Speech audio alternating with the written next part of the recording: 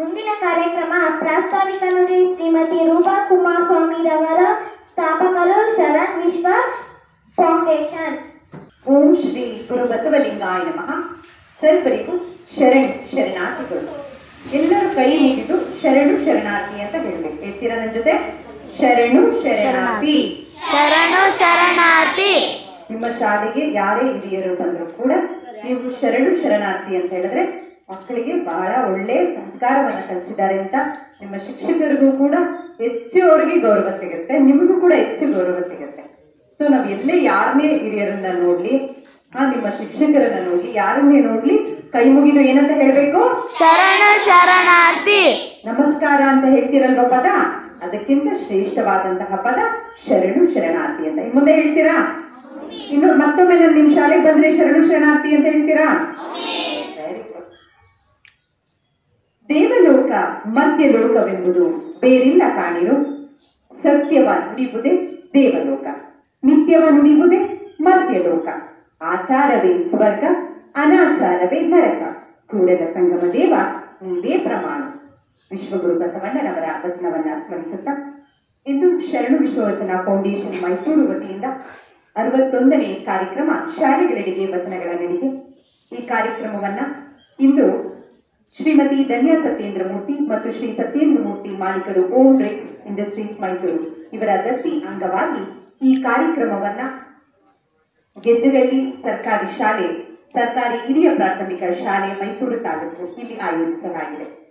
ಈ ಕಾರ್ಯಕ್ರಮದ ಅಧ್ಯಕ್ಷತೆಯನ್ನ ವಹಿಸಿರುವಂತಹ ಡಾಕ್ಟರ್ ವಚನಕುಮಾರ ಸ್ವಾಮಿರವರೇ ಹಾಗೂ ದತ್ತಿ ದಾಸೋಹಿಗಳಾದಂತಹ ಶ್ರೀಮತಿ ಧನ್ಯಾ ಸತ್ಯೇಂದ್ರ ಮೂರ್ತಿ ಹಾಗೂ ಸತ್ಯೇಂದ್ರ ಮೂರ್ತಿರವರೇ ಹಾಗೂ ಕಾರ್ಯಕ್ರಮಕ್ಕೆ ಆಗಮಿಸಿರುವಂತಹ ಸ್ಫೂರ್ತಿರವರೇ, ನಮ್ಮ ಶರಣು ವಿಶ್ವಚನ ಫೌಂಡೇಶನ್ನ ಉಪಾಧ್ಯಕ್ಷರಾದಂತಹ ಶಿವಪುರ ಉಮಾಪತಿರವರೇ, ಮುಖ್ಯವಾಗಿ ಈ ಶಾಲೆಯ ಮುಖ್ಯ ಶಿಕ್ಷಕರಾದಂತಹ ಶ್ರೀಮತಿ ಮಮತಾರವರೇ ಮಮತಾರವರೇ, ಶಿಕ್ಷಕ ವೃಂದದವರೇ ಎಸ್ ಡಿ ಎಂ ಸಿ ಸದಸ್ಯರೇ, ಪೋಷಕರೇ, ನೆಚ್ಚಿನ ವಿದ್ಯಾರ್ಥಿಗಳೇ, ಎಲ್ಲರಿಗೂ ಮತ್ತೊಮ್ಮೆ ಭಕ್ತಿಪೂರ್ವಕ ಶರಣು ಶರಣಾರ್ಥಿ. ಏನ್ ಶರಣ ಶರಣು ಶರಣಾರ್ಥಿ ಮಕ್ಕಳೇ ನಾವೆಲ್ಲರೂ ವಚನ ಅನ್ನೋ ಪದನ ಕೇಳಿದೀವಿ. ಕೇಳಿದೀವಾ? ನಿಮ್ಗೆಲ್ಲ ಹೇಳ್ಕೊಟ್ಟಿದಾರ ವಚನ ಅಂದ್ರೆ ಏನು ಅಂತ? ಏನು ವಚನ ಅಂದ್ರೆ? ಏನು ವಚನ ಅಂದ್ರೆ? ನೀವೆಲ್ಲ ವಚನ ಹೇಳ. ಯಾವ್ಯಾರು ಒಂದು ವಚನ ಹೇಳಿ ನೋಡೋಣ? ಯಾವ್ದಾರು ಒಂದು ವಚನ? ಹೇಳಿ ಒಂದು ಸಾಲು ಹೇಳಿ. ವಚನದ ಒಂದು ಸಾಲು. ಕಳಬೇಡ ಕೊಲಬೇಡ ಕುಸಿಯ ನುಡಿಯಲು ಬೇಡ ಮುನಿಯಬೇಡ ಅನ್ಯರಿಗೆ ಅಸಹ್ಯ ಪಡಬೇಡ ತನ್ನ ಬಣ್ಣಿಸಬೇಡ ಇದಿರ ಹಳಿಯಲು ಬೇಡ. ಇದೇ ಅಂತರಂಗ ಶುದ್ಧಿ ಇದೇ ಬಹಿರಂಗ ಶುದ್ಧಿ ಇದೇ ನಮ್ಮ ಕೂಡಲ ಸಂಗಮ ದೇವರ ಸೋಪನೆ. ಹೇಳಿದಿರಲ್ವಾ ಸೊ ಇದು ವಚನ ಅಂತ ಗೊತ್ತು ನಿಮ್ಗೆ ಅಲ್ವಾ? ವಚನ ಅಂದ್ರೆ ಏನು? ವಚನ ಅಂದ್ರೆ ಅರ್ಥ ಮಾತು ಅಂತನೂ ಆಗುತ್ತೆ ಪ್ರಮಾಣ ಅಂತ ಕೂಡ ಆಗುತ್ತೆ ಸಾಮಾನ್ಯವಾಗಿ ಮಂತ್ರಿಗಳೆಲ್ಲ ನೀವು ನೋಡಿದ್ದೀರಾ? ಅವರು ಪ್ರಮಾಣ ವಚನ ಸ್ವೀಕರಿಸ್ತೀವಿ ಅಂತ ಹೇಳ್ತಾರೆ. ನಾನು ಇಂದು ದಿನ ಇಂದು ಮುಖ್ಯಮಂತ್ರಿಯಾಗಿ ಪ್ರಮಾಣ ವಚನವನ್ನ ಸ್ವೀಕರಿಸ್ತೀನಿ. ಅಂದ್ರೆ ವಚನ ಅಂದ್ರೆ ಪ್ರಾಮಿಸ್ ಅಂತ. ವಚನ ಅಂದ್ರೆ ಏನು? ಕನ್ನಡದಲ್ಲಿ ಪ್ರಮಾಣ. ಪ್ರಮಾಣ ತಗೊಳ್ಳೋದು. ಒಂದ್ಸತಿ ಪ್ರಮಾಣ ತಗೊಂಡ್ಮೇಲೆ ಅದನ್ನ ನೀವು ಏನ್ ಮಾಡ್ಬೇಕು? ನಡೆಸ್ಕೊಂಡು ಹೋಗ್ಬೇಕು ಉಳಿಸ್ಕೊಂಡು ಹೋಗ್ಬೇಕು ಅಲ್ವಾ? ಸೊ ಈ ವಚನ ಸಾಹಿತ್ಯ ಬೆಳಕಿಗೆ ಬಂದಿದ್ದು ಯಾವಾಗ? ಯಾವ ಶತಮಾನದಲ್ಲಿ ಮಕ್ಕಳೇ ಹನ್ನೆರಡನೇ ಶತಮಾನದಲ್ಲಿ. ಯಾವ ಶತಮಾನ?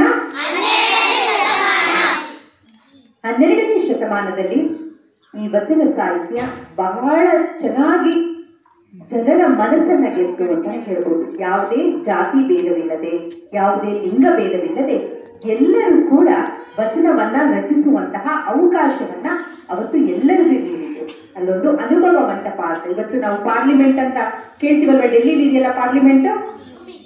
ಅಲ್ಲಿ ಹಾಗೆ ಅನುಭವ ಮಂಟಪ ಅಂತ ಒಂದು ರಚಿತವಾಗಿತ್ತು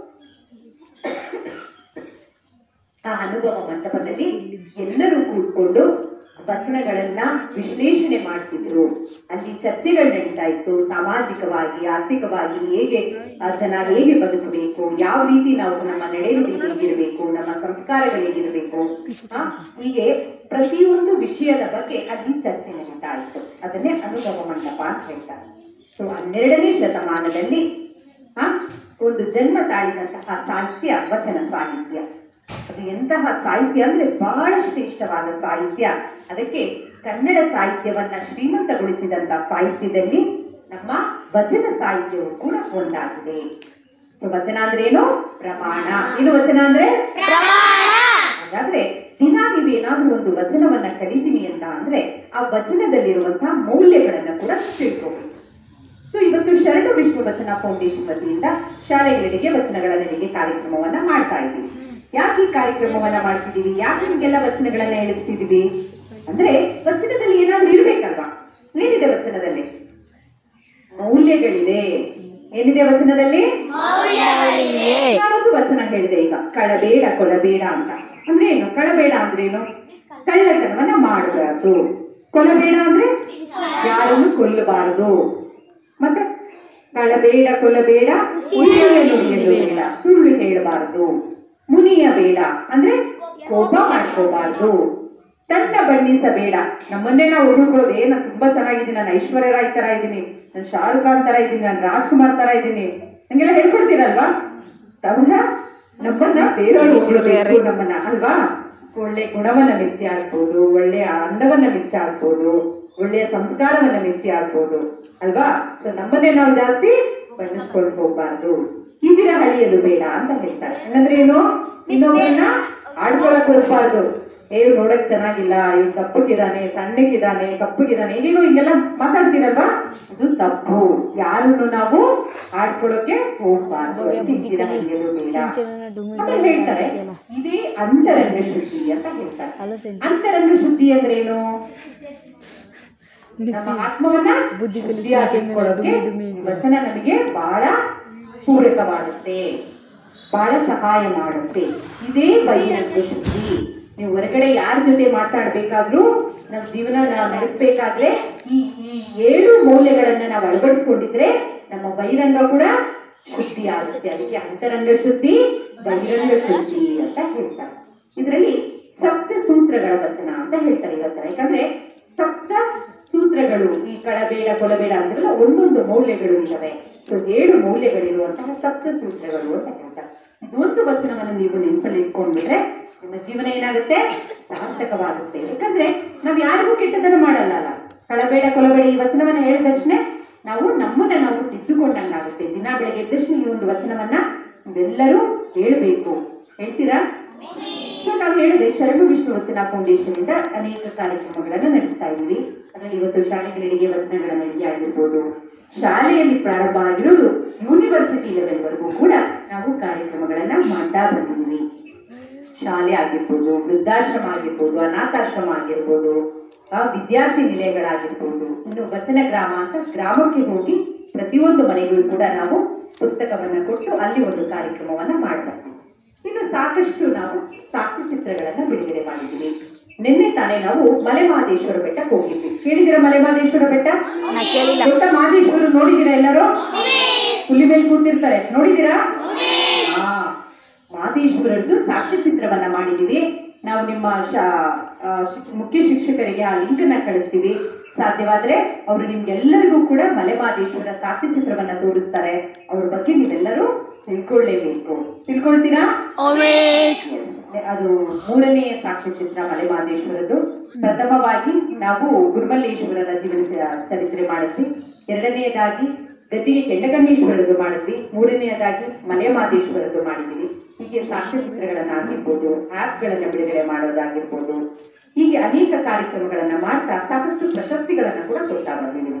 ಯಾರು ಒಳ್ಳೆಯ ಶಿಕ್ಷಕರಿದ್ದಾರೆ ಅಂದ್ರೆ ಮಕ್ಕಳ ಬೆಳವಣಿಗೆಗೆ ಆಲ್ರೌಂಡ್ ಡೆವಲಪ್ಮೆಂಟ್ಗೆ ಯಾರು ಶ್ರಮಿಸ್ತಿದ್ದಾರೆ ಅಂತವರಿಗೆ ನಾವು ಚಿನ್ಮಯ ಜ್ಞಾನ ಪ್ರಶಸ್ತಿ ಅಂತ ಪ್ರತಿಯೊಂದು ಜಿಲ್ಲೆಗೆ ಒಬ್ಬೊಬ್ಬರು ಶಿಕ್ಷಕರನ್ನ ಆಯ್ಕೆ ಮಾಡಿ ಪ್ರತಿ ವರ್ಷ ಚನ್ನಬಸವಣ್ಣನವರ ಹೆಸರಿನಲ್ಲಿ ಪ್ರಶಸ್ತಿಯನ್ನು ನೀಡ್ತಾ ಬರ್ತಾ ಇದ್ದೀವಿ. ಇನ್ನು ವಚನ ಕೋಗಿಲೆ ಆಗಿರ್ಬೋದು, ಕಾಯಕ ಯೋಗಿಗೆ ಶರಣು ಅಂತ ಪ್ರಶಸ್ತಿ ಆಗಿರ್ಬೋದು, ಹೀಗೆ ಅನೇಕ ಪ್ರಶಸ್ತಿಗಳನ್ನು ನಾವು ನಮ್ಮ ಫೌಂಡೇಶನ್ ಇಂದ ನಾವು ಕೊಡ್ತಾ ಬಂದಿದ್ದೀವಿ. ಇನ್ನು ಅನೇಕ ಪ್ರತಿದಿನ ಒಂದೊಂದು ವಚನಗಳನ್ನು ಎಲ್ಲ ಒಂದು ವಾಟ್ಸಪ್ ಗ್ರೂಪಿಗೆ ಕಳಿಸ್ತೀವಿ. ಹೀಗೆ ನಮ್ಮ ಶರಣು ವಿಶ್ವ ವಚನ ಫೌಂಡೇಶನ್ ಪ್ರಾರಂಭ ಆಗಿ ಆರು ಏಳು ಏಳು ವರ್ಷಗಳಾಗಿದೆ. ಎರಡ್ ಸಾವಿರದ ಹದಿನಾರರಲ್ಲಿ ಪ್ರಾರಂಭವಾದಂತಹ ಸಂಸ್ಥೆ ಇದು. ನೀವೆಲ್ಲ ಶಿವಕುಮಾರ್ ಶಿವಕುಮಾರ ಸ್ವಾಮೀಜಿಗಳ ಬಗ್ಗೆ ಕೇಳಿದ್ದೀರಾ? ಸಿದ್ಧಗಂಗಾ ಮಠ ನಡೆದಾಡುವ ದೇವರು ಅಂತ?